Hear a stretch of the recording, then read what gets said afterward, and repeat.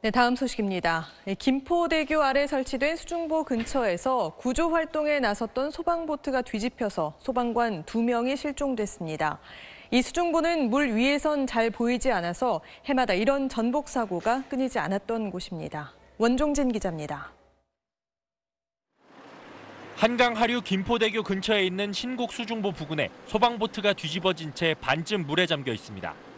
오늘 낮 1시 반쯤 고무보트가 수중보에 걸려 있다는 군의 신고를 받고 출동한 소방보트가 전복됐습니다. 뒤집힌 보트에 타고 있던 소방관 3명 중 1명은 구조됐지만 37살 오모 소방장과 신모 소방교가 실종됐습니다. 네, 사고가 일어난 신곡 수중보 위의 김포대교입니다. 소방대원들이 타고 있던 보트가 뒤집어져 있고 수색 작업이 한창 진행 중입니다.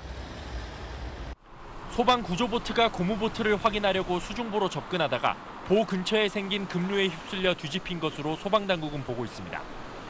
보에 걸려 있다던 고무보트는 떠내려온 폐보트로 확인됐습니다. 수중보는 물 위론 일정한 간격을 두고 솟아있는 구조물만 보일 뿐 수면 아래 강물을 가로지르는 콘크리트 벽은 육안으로 확인이 어렵습니다.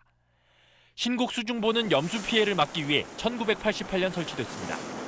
하지만 물리적으로 배가 건널 수 없는 구조여서 해마다 사고가 끊이질 않습니다. 작년에도 배가 보에 걸려서 넘어졌는데 이번에도 그런 것 같다. 지난해엔 레저용 보트가 보에 걸려 뒤집히는 바람에 한 명이 숨지고 세 명이 다쳤습니다. 2년 전에도 보트 전복으로 한 명이 숨졌습니다. SBS 원종진입니다.